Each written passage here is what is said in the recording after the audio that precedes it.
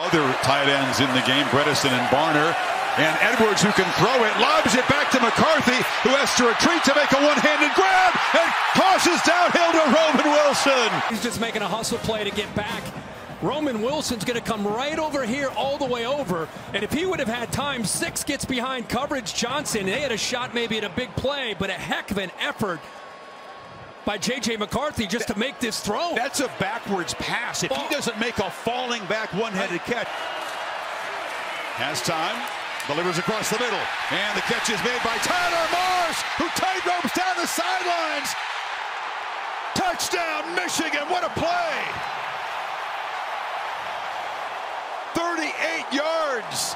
Thought they would have him corralled. He somehow stayed in bounds.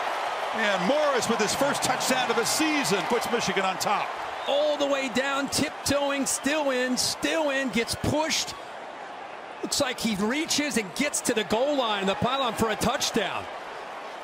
What an effort by Morris. It's his first touchdown of the year. Only has 11 receptions on the season. But what a outstanding job again by Jim Harbaugh of designing a play to get the matchup that he wanted.